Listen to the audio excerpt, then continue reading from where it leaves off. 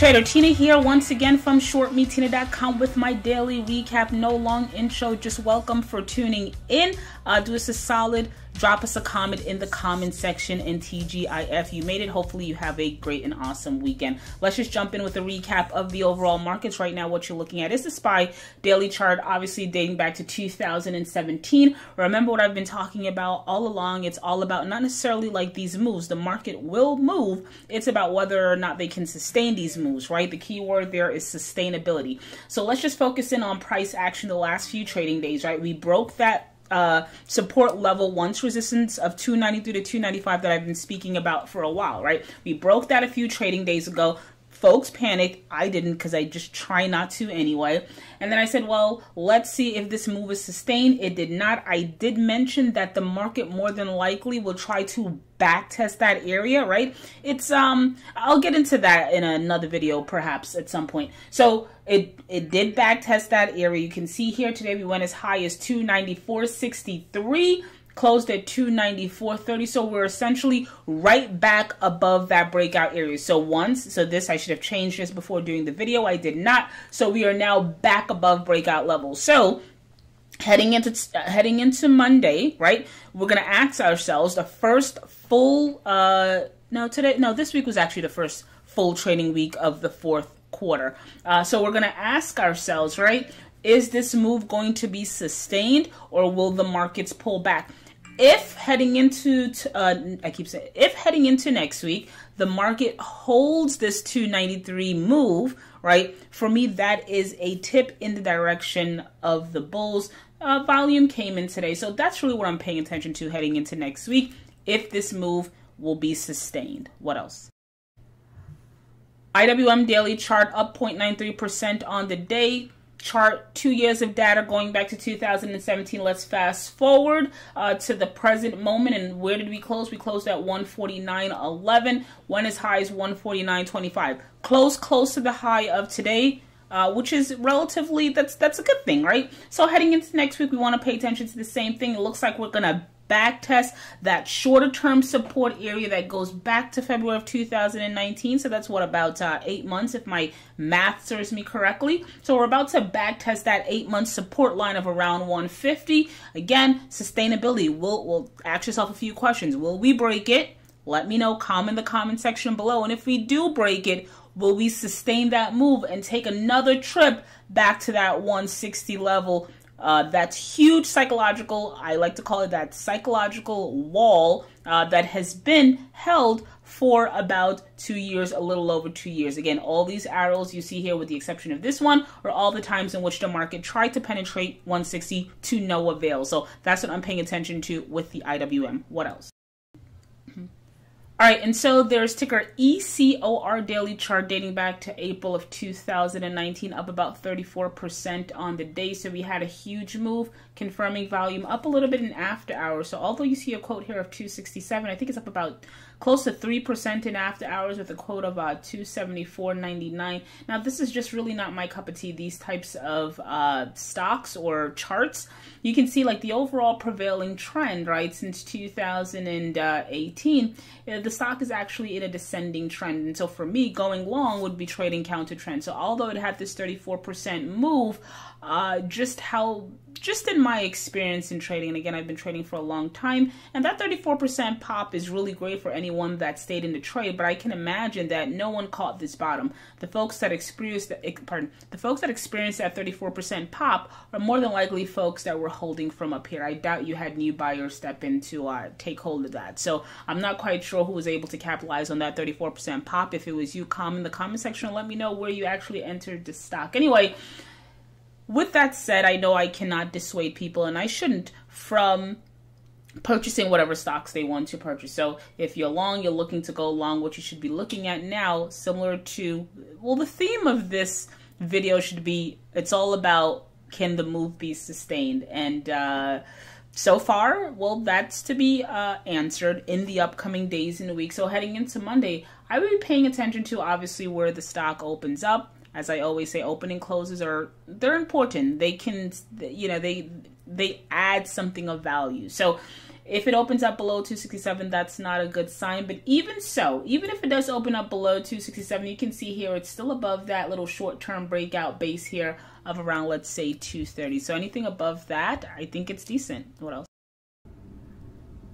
All right, and then we have ticker AVYA daily chart. Uh, stock is up about 30% on the day. So huge congrats to the bulls. I'm drawing my line here of upcoming resistance. You see a close here of 1323. So we essentially closed really right at the high of the day. So for me, uh, and clearly you can see that we uh, filled this gap here of $12.63 with huge volume comparative to volume um, many months prior. So heading into Monday, if we open up higher than 323 automatically take out the high. I can see a really quick run to around that $14.30 level before any major well that is resistance. Uh, that's sort of like the first resistance levels that i see. So uh, if we break through three uh, why am I fumbling? I'm trying to rush.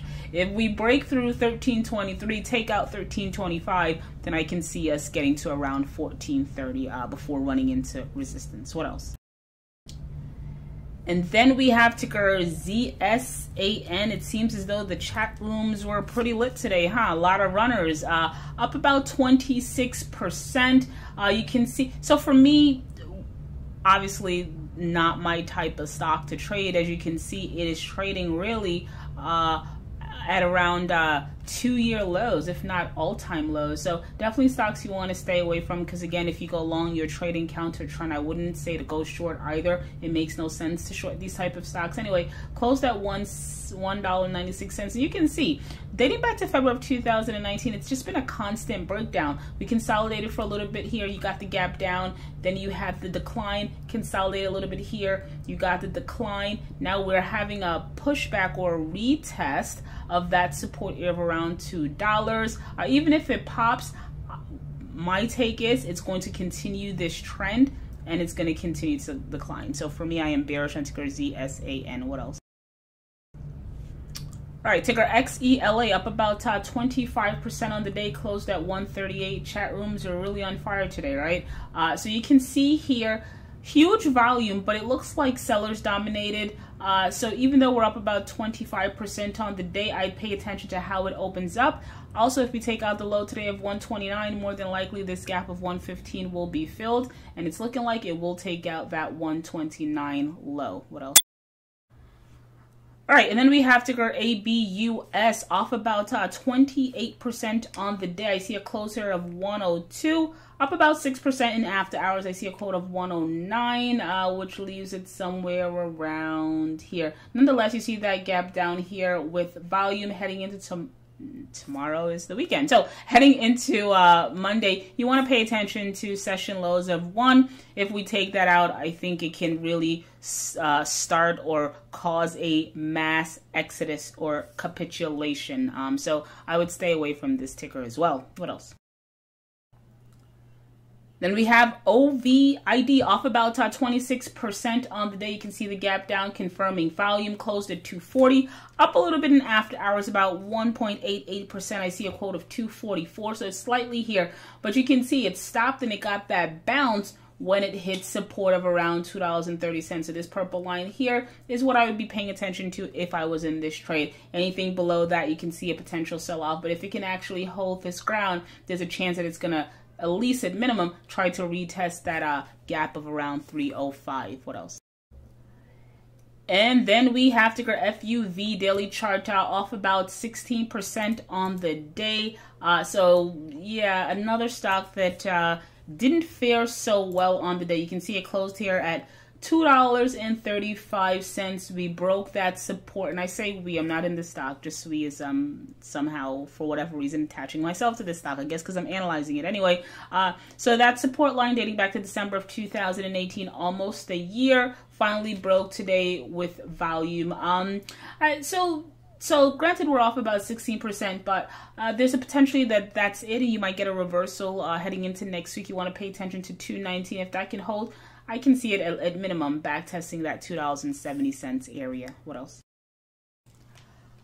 All right, so let's uh, wrap it up and round it out with ticker AGFS. You know what's so funny? I just realized that I kind of blew through those videos. Like some of them are just like 30 seconds or 40 seconds in length, which proves to me that I can, if I wanted to, I can make these videos extremely short and to the point. Maybe that's going to be the theme going forward. There are going to be some changes uh, heading into uh, the fourth quarter with how Short Tina operates, but I'll let you guys know about that as things unfold. Anyway, so quote here of $2.03 or off about 14% on the day up a little bit in after hours i see a quote of around uh, $2.13 so it's up about uh, a little shy of 5% so heading so the setup here is relatively decent although you know i don't like trading stocks that are trading at like uh, either all-time lows or 52 week lows or four or five year lows. That's not really the best. But anyway uh, heading into next week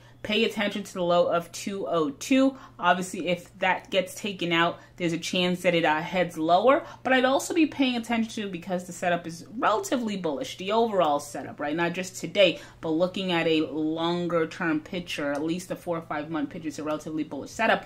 If we can actually break above that 260 level, then I can see this potentially running to around $3.60, perhaps even 4 But not there yet. You just have to watch how things unfold and place your bet. That is what trading is about. So we're going to cap it there.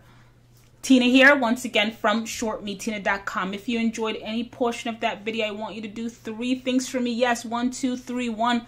Comment in the comment section. I was super lightning fast today. Do you prefer that versus those long drawn out videos?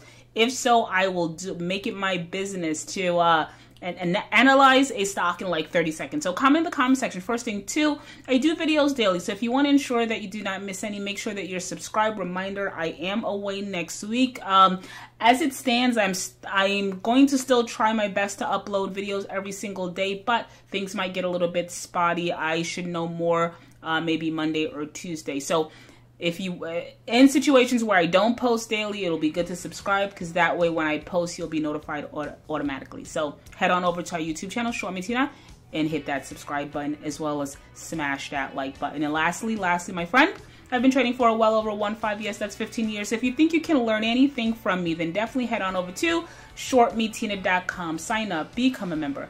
Thank you for listening, and as always, thank you for the support. TGIF, enjoy your weekend. I will talk to you on Monday. Sister, what have you done? Hey, little sister, who's the only one? Hey, little sister, who's your Superman? Hey, little sister, who's the one you want? Hey, little sister, shotgun